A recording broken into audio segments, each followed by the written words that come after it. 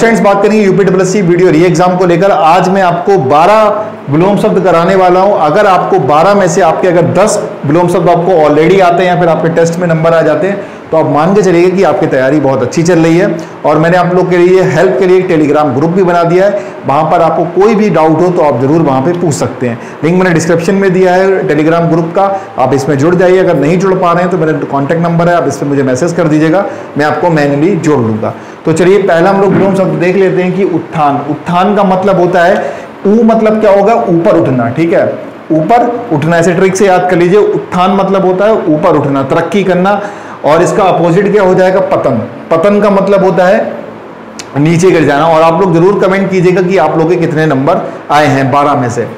उत्कर्ष का मतलब क्या होता है कि ऊपर उठना मतलब समृद्धि होता है, ये सभी होता है। उत्थान और उत्कर्ष में कुछ खास अंतर नहीं है। इसका अपोजिट हो जाता है अपकर्ष।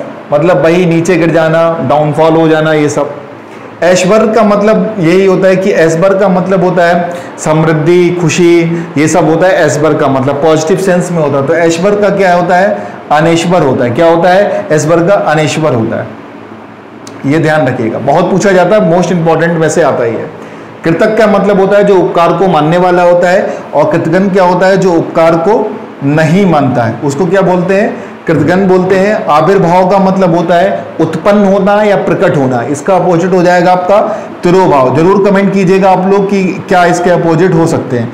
अमावस्या का मतलब होता है अंधेरी रात तो इसका हो जाएगा उजेली रात, पूर्णिमा। क्या हो जाएगा? पूर्णिमा हो जाएगा। अभी अग्नि का मतलब होता है धरती। अग्नि का, पृथ्वी का पर्यायवाची है अग्नि तो इसका अपोजिट क्या हो जाएगा? अंबर। अंबर का मतलब भाई आप समझ गए आसमान। आलोक का मतलब होता है उजाला तो इसका अपोजिट क्या हो जाएगा? अंधकार। ठीक है? हर्ष का मतलब होता है खुशी तो इसका अपोजिट क्या हो जाएगा? विषाद, या फिर आप शोक भी लगा सकते हो इसका।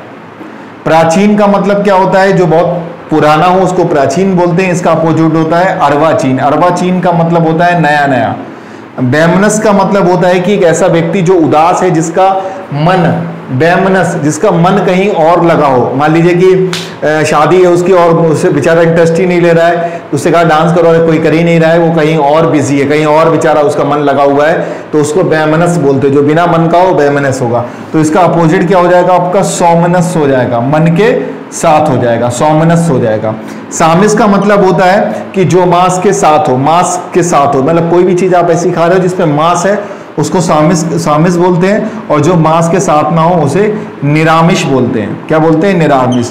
तो सबसे ज़्यादा इंपॉर्टेंट आपका शामिस है, बैमनस है, आपका प्राचीन भी काफ़ी पूछा जाता है, ऐश्वर भी है पूछा जाता है। आविर्भाव तो मोस्ट इंपॉर्टेंट है कृतक भी आपको देखने को मिल सकता है, अमावस्या भी देखने को मिल सकते हैं।